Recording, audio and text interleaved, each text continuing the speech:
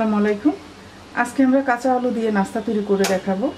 কাঁচা আলু দিয়ে নাস্তা তৈরি করতে আমি এখানে মিডিয়াম সাইজের তিনটা আলু চুলে ভালো করে দুয়ে টুকরো করে নিয়েছি। এই আলুগুলোকে আমরা ব্লেন্ডারে দিয়ে ব্লেন্ড করে নেব।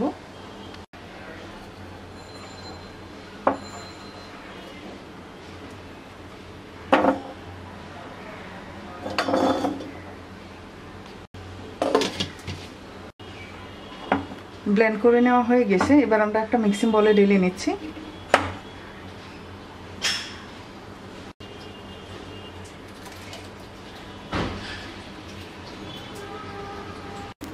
এবার আমরা এর মধ্যে দিয়ে দিচ্ছি হাফ চা চামচ মরিচের গুঁড়া, হাফ চা চামচ হলুদের গুঁড়া। গ্রেট করে নেওয়া একটা টমেটো দুটা কাঁচামরিচ কুচি। মিডিয়াম সাইজের দুটা পেঁয়াজ কুচি, এক চা চামচ চাট মশলা, হাফ চা চামচ আস্ত জিরা, এক টেবিল চামচ কাসুরি মেথি, স্বাদ মতো লবণ, এক কাপের চার ভাগের এক ভাগ আটা।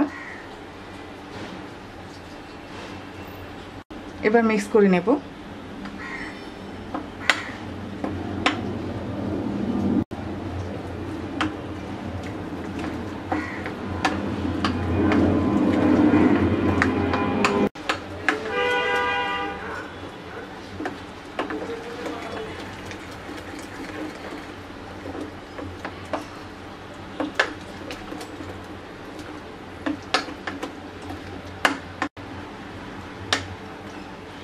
মিক্স করে নেওয়া হয়ে গেছে।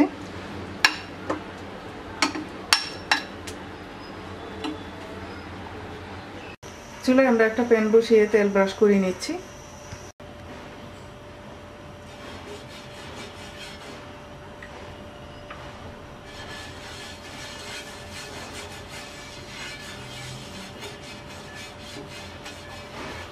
এবার আমরা পরিমাণ মতো ব্যাটার দিয়ে দিচ্ছি।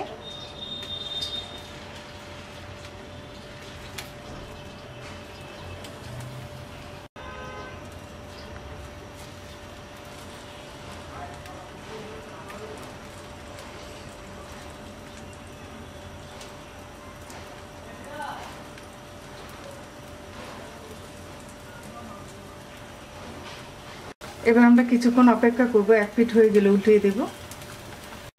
উপরে আমরা একটু তেল ব্রাশ করে নিচ্ছি।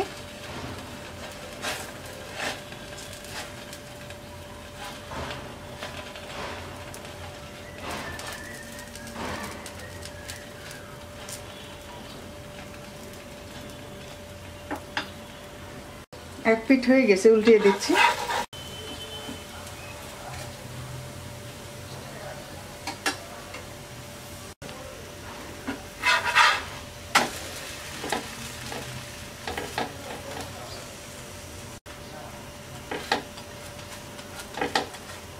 হয়ে গেছে নামিয়ে নিচ্ছি।